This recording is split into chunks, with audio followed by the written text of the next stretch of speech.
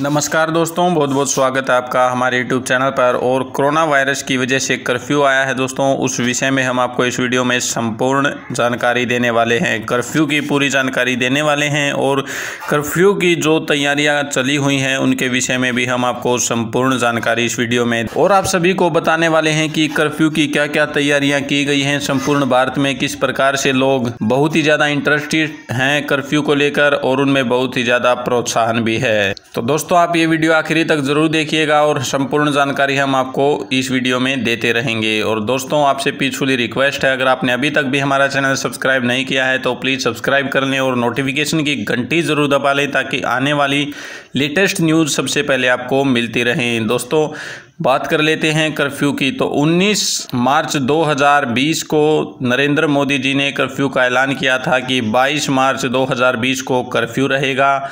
रविवार के दिन संपूर्ण देश में कर्फ्यू रहेगा। जनता कर्फ्यू का इसको नाम दिया गया था। जनता कर्फ्यू के दौरान भारत सरकार ने संपूर्ण रूप से तैयारियाँ कर ली हैं और भारत सरकार भारत सरकार ने बहुत ही बड़े बड़े ग्रुप्स भी बनाए हैं इस कर्फ्यू को लेकर, जिससे लोगों को जागरूक किया जा सके कोरोना वायरस कोविड नाइन्टीन को लेकर।